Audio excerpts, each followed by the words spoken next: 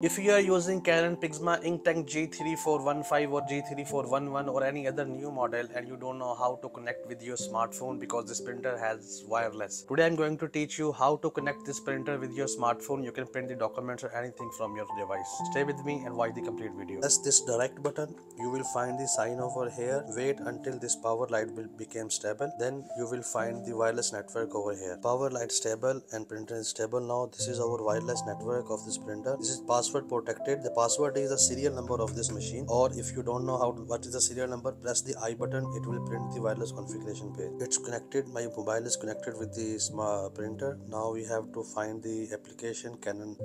Using this canon print app you can print your documents and any images in your smartphone. This method will work in all canon ink tank printers that embedded wireless device inside. If you have any other query uh, rather than wireless you can ask me in the comments. I will reply your questions